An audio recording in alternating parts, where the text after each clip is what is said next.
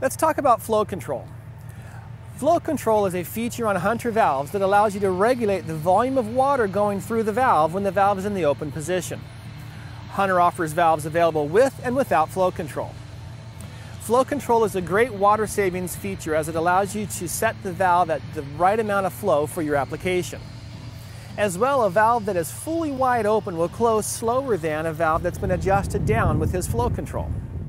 On larger systems, where valves can take up to 45 seconds to close, making this flow control adjustment can help minimize the valve closing speed and save water.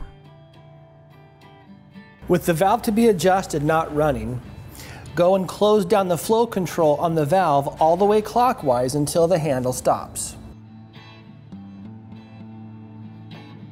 Now turn on the valve from the controller electrically and slowly open the flow control handle of the valve while watching the flow going out to the heads.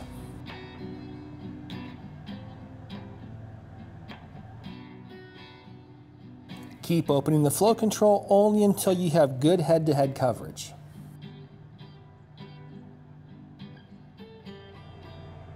This is a great water conservation practice to use with your existing equipment. For more information, please visit our website at hunterindustries.com. And thanks for watching.